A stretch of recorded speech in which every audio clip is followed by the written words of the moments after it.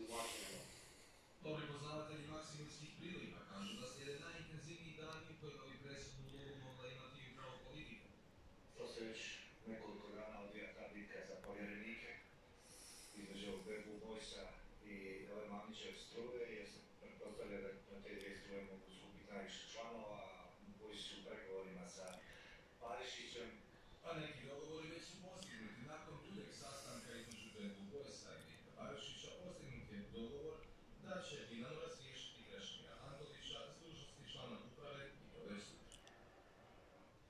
Dvije godine nakon smrti bivšeg gradonačelnika Zagreba Milana Bandića nema mira ni kad je reč o njegovom posljednjem počivalištu. Grob je to bez spomenika. Dozvolu ne želi dati grad, a gradonačelnik je danas otkrio zašto. Članovi stranke bivšeg gradonačelnika Milana Bandića jutro sa sjećom agencijama na njegovu posljednjem počivalištu. No dvije godine od smrti nema nadgrobnog spomenika uz koji bi sve to ostavili. Sramota je da čovjek nema obilježeno grobno mjesto nakon dvije godine. Definitivno je sramota. Ali što ćete, sve nam. Da je on živ pa da je obrnuta situacija, vjerojatno, vjerujte mi, u dva, tri mjeseca bi se riješio problem. Problem je nastao zbog pozicije groba, ne nalazi se među ostalima, nego izdvojen uz prolaz.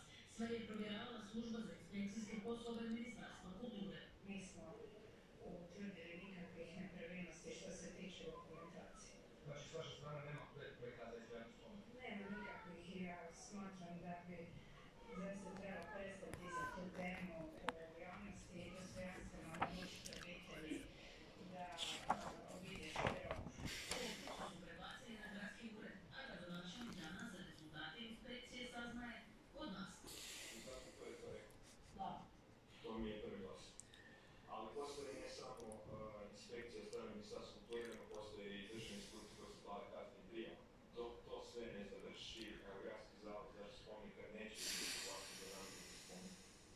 Obitelj Milana Bandića na samu godišnjicu njegove smrti bez komentara, ali odvjetnica koja ih zastupa samo je kratko poručila kako nikakve informacije vezano uz potencijalne istrage o ovom grobnom mjestu nemaju. Ne mogu komentirati, kao što znate, ono, takve istrage, mogu samo reći da ona postoji, ali ne mogu govoriti ni komentarima s obzirom da se. Bez komentara su i državno odvjetništvo i USKOK. Grobno mjesto na kojem je Bandić pokopan gradi prošle godine njegovoj obitelji je ustupio besplatno. Tada su rekli i da nije utvrđena povreda zakona ili drugih propisa pri dodjeli mjesta. No od dozvole za izgradnju ovog spomenika i dalje ništa.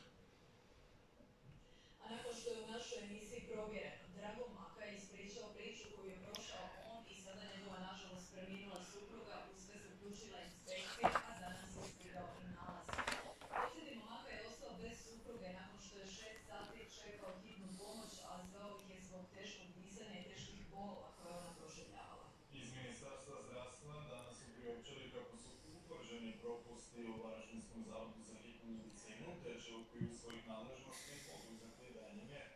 U nalazu inspekcije stoji kako je medicinska sestra koja je zaprimila poziv odabrala krivi stupanj hitnosti zbog čega na teren nije bio poslan tim hitne medicinske službe.